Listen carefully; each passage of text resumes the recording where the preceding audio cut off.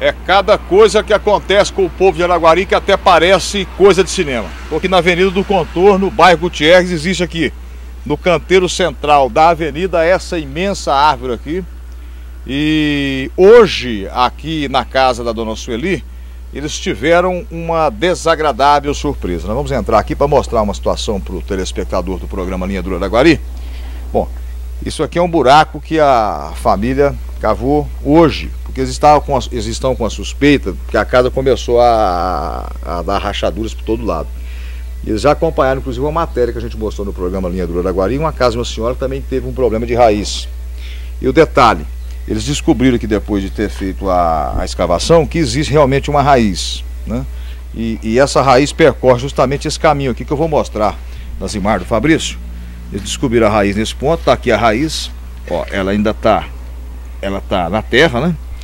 E esse caminho aqui, ó, bem no detalhe aqui, Fabrício, é uma rachadura, tá vendo, né?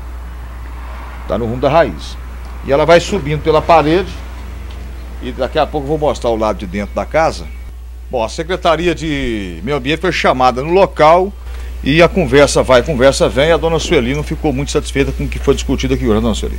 Não, eu não fiquei não, Magrão, porque é, eu queria que fosse assim, com mais agilidade, né? E a moça que veio até educada, mas não, não é a bióloga, que ontem a bióloga Sandra teve aqui, eu não estava, mas ainda não tinha destampado. Bióloga veio aqui, a Sandra, o que, que ela falou para a senhora?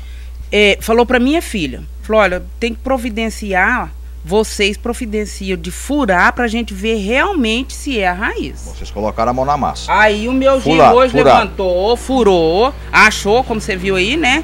Achou a raiz. Aí a minha filha ligou, falou: olha, a gente encontrou a raiz.